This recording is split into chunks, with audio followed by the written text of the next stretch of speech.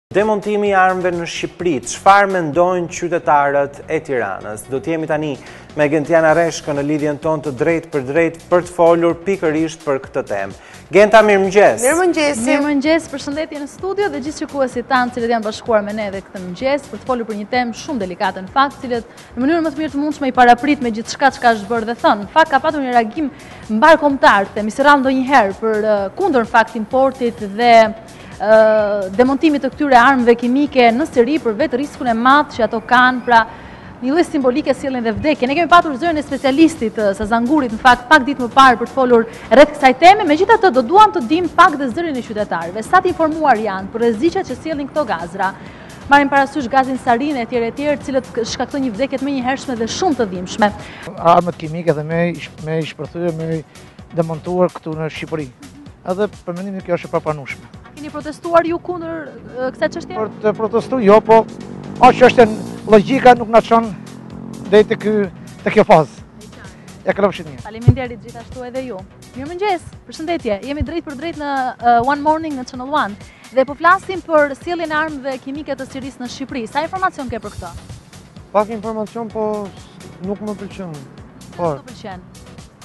Mendoj se është diçka e dëmshme për shqiptarët. Pse?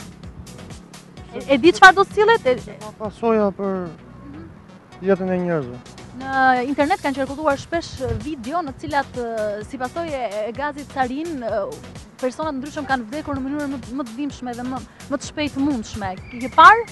Jo, nuk kam parë, po jam informuar për këtë gjë dhe mhm. më duket shumë A mendon ti se Shqipëria ka kapacitetet e mjaftueshme për të bërë demontimin e këtyre? Jo. Kur nuk pranojnë shtetet më të mëdha se ne, imagjino ne do. Cila ka qenë forma jote e protestës për të thënë jo? Një peticion që më ka ardhur edhe e kam plotësuar domethënë. Mhm. Ajo është. Faleminderit, ditë të mbarë. Zotri, mirëmëngjes.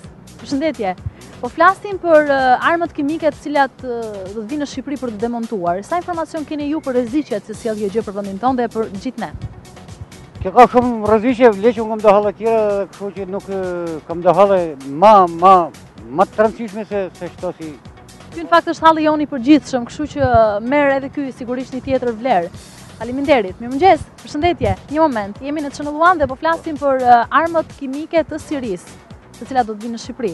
Sa i informuar je ti për rreziqet që mbajnë këto armë dhe cila ka qenë forma jote e protestës? Për mendimin tim, s'mund të sjellin ato armë këtu, t'i çmontojnë a çfarë do t'i bëjnë ata. Mhm. Të gjejnë një vend tjetër. Pse mendon ti se Shqipëria nuk është gati apo nuk duhet të sillen? Po nuk është gati Shqipëria për ato punë. Sepse s'duan s'do populli Të sillen ato armë këtu. Ti ke informacion për faktin se sa të dëmshme janë këto gazra dhe le të themi forca jonë asgjësuese e tyre është shumë e dobët? Po, për mendimin tim, ato nuk mund të vinë këtu. Të shkojnë në vend tjetër. Ke protestuar? Jo, akoma jo. Po, po të mblidhet, po pse jo. Faleminderit, përshëndetje.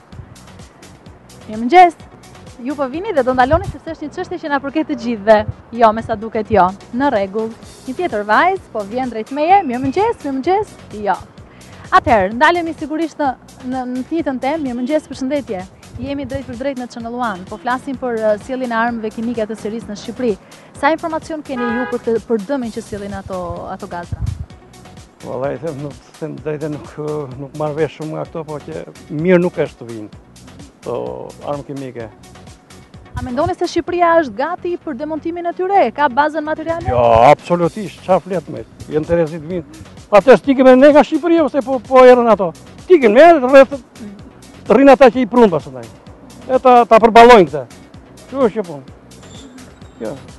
Edhe ju keni protestuar për të thënë jo? Tani, të më varet në dorë time jo.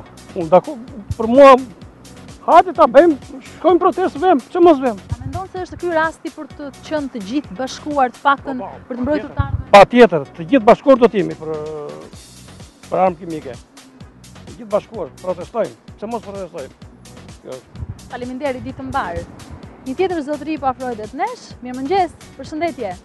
Po flasim për sot për armët kimike të Sirisë të cilat do të vijnë në Shqipëri. Sa informacion ke për rrezikun që këto armë mbartin? Jo, nuk e di shumë, nuk s'marr vesh fare nga ato. Po, a jeni dakord që ato të sillen tek ne? Po, asnjëherë, nuk diskutohet. Po, superfuqitë e mëdha gjithmonë kështu ka pas. Që vendi më të varfër në çuaj e nënshtrojnë. me këtë, me këtë problem. A keni ju një formë proteste apo revolte për të thënë jo, sepse kjo është e ardhmja e fëmijëve? Po, sigurisht. Nuk diskutohet pa. Ju urojmë ditë mbarë. Faleminderit. Zonjë, mirëmëngjes, përshëndetje. Do flasim, po flasim në fakt për armët kimike të Sirisë. Nuk dini gjë për këtë çështje. Mirë atëherë, kemi prapë dhe emigrantë. Mirëmëngjes, vajza? Jo, vajzat jo, nuk ndalojnë. Si duket nuk janë të informuara për temën, sepse kjo është një çështje që na prek të gjithëve dhe në fakt të gjithë kanë diçka për të thënë. Zonjë, mirëmëngjes. Djali, mirëmëngjes, mos nxito, jam shumë e sigurt që ti ke për të thënë diçka. Zotëri, mirëmëngjes, përshëndetje. Si jeni? Nuk është tjerë. Zonjë, mirëmëngjes, përshëndetje. Jemi drejtpërdrejt në Channel 1, emisionin One Morning, dhe po flasim për uh, armët kimike të Sirisë të cilat uh, është folur që do të vijnë në Shqipëri. Sa informacion keni ju, si qytetare e këtij vendi, uh, i cili do t'i mbartë këto armë për t'i demontuar? Për rrezikun e tyre? Po, për rrezikun e tyre, mos vijnë se janë në rrezik për çdo rast që nda, si për uh, ushqimin e njerëzve dhe për uh, pirjen e ujit e të gjitha. Mbi të gjitha në fakt ka një rrezik akoma më drejtpërdrejt me jetën e njerëzve të cilët do të merren me këto me këto armë. Mendoni ju se Shqipëria është gati për ta bërë këtë proces? Po,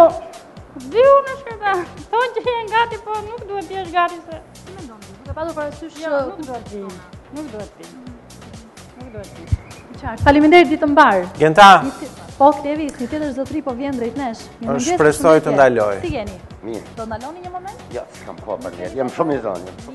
Shumë i zënë, në fakt. Në fakt, dhe vonë për punë, në fakt. Unë jam i sigurt që informacioni është i pakët, dhe ndoshta ne do të bënim mirë që të pyesnim a janë pro apo kundër, por sigurisht që jam i sigurt që përgjigja do të jetë kundër. A priori në fakt janë kundër, po pa e ditur. Për informacionin i takon medias tani që të flasë se çfarë janë këto gazra, çfarë ndodh dhe gjithçka tjetër. Unë do të pyes një vajzë e cila po mëson për inxhinieri. Elsava mirëmëngjes. Mëngjes. Ne jemi drejtpërdrejt në Channel One Morning dhe po flasim për armët kimike të të Sirisë. Sa informacion ke ti për këto armë, për rreziqet që mbart? Ë jo, jo shumë pak informacion, domethënë mjaftueshëm informacion për të dalë në përfundimin që nuk jam dakord që të mhm. kryhet apo të miratohet një akt i tillë. Ë, kam firmosur dhe peticionin. Po shumë mirë dhe shpresojmë shumë që zëri jot dhe joni gjithë bashkë merret parasysh. A mendon ti duke patur parasysh dhe kushtet e Shqipërisë, a jemi gati ne për të bërë demontimin e armëve kimike për më tepër? Jo, jo. Mhm. Ë, Shqipëria sapo kaloi një, domethënë, një ndryshim në në në po, në politikë në që në po në ndryshim pushtetesh dhe kurrsesi nuk do të ishte e aftë as njerëzit Madje nuk janë akoma të pregatitur me mendimin apo nuk janë të mirinformuar se ça pasojash apo ça të mirash apo ça të këqijash do të sillte. Kështu që duhet akoma shumë punë, domethënë me njerëzit, me, me gjithë, gjithë. Elsava, po në shoqërinë tënde, në, një, në, re, në rrethin tënd shoqëror, sa të informuar jeni, ju jeni brez i ri sigurisht, sa të informuar jeni dhe, dhe sa pro apo kundër? Uh, me sa e kemi diskutuar, se normalisht është bërë dhe objekt bisede, uh, shumica janë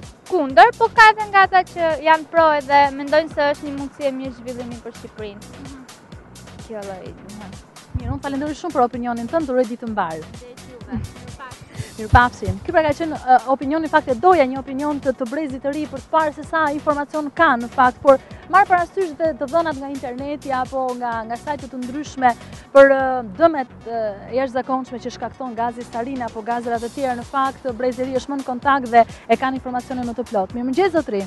Përshëndetje! Po flasim për armët kimike të... Ma zallam me që jenë bërëdi, bërë në armë kimike këtu.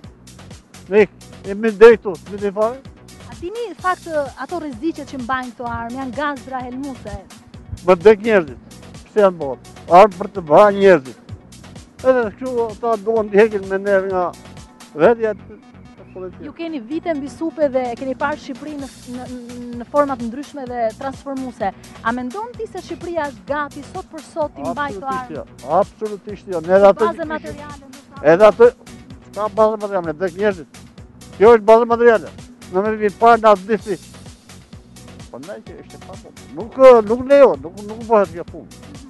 Ka se po, qeveritarët e një dhe rrëtë punë. Po ne si popull, çfarë duhet të themi? Ne jemi atje, atje dhe shkojmë. Po. Mirë atëherë, shpresojmë të na dëgjohet fjala. Kështu pra, ka qenë dhe opinioni i një zotërie të moshuar, i cili sigurisht në vitet 2020 ka parë Shqipërinë në forma nga më të ndryshmet dhe thotë jo, pak të rast. Po, kam dy djem të rinj, më shmangën direkt. Po, Klevi? Kemi, kemi patur opinione të ndryshme dhe besoj që dihet tashmë në gjithë intervistat që ti ke bërë nuk pati asnjë përgjigje që po, le të vijnë armët kimike në Shqipëri. Në fakt, në, i takon pushtetarve, i takon, na takon ne medias për të treguar realitetin dhe atë çka po ndodh, sepse duhet të kuptojmë se sa mundësi ne kemi realisht për t'i demontuar këto armë, Kur kërkuam të demontonim Gërdecin dhe bëmë një tmerr të madh, vramë 20 e kusur njerëz që sot e kësaj dite nuk dihet fajtori dhe ende nuk është dënuar. Kështu që Genta, unë të falënderoj shumë që ti sot ke sjellë një temë tepër aktuale, besoj ne do t'i rikthehemi për ta trajtuar, por sigurisht edhe në Departamentin e Informacionit do të ketë hapësirë. Dhe në fakt duke falënderuar Gentën, edhe ishte kënaqësi, në fakt, që kemi nisur javën kështu me opinione të drejtpërdrejta të publikut.